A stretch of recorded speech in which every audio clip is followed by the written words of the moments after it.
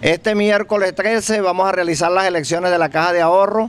Eh, los centros electorales van a estar ubicados en la Santa Teresa de Jesús, van a votar todos los empleados del Ejecutivo y los entes descentralizados.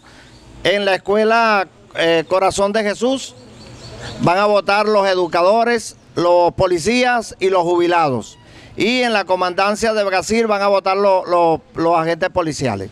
Es propicia la oportunidad para decirle a los, a los socios, a los socios de la Caja de Ahorro, la importancia que tienen estas elecciones. Sabemos que va a participar un solo equipo, nuestro equipo, encabezado por mi persona, el profesor Rubén Díaz, pero a pesar de eso nosotros tenemos que concurrir masivamente a votar, tenemos que legalizar y validar el proceso electoral, por eso es que se va a hacer el acto, es necesario que todos concurran.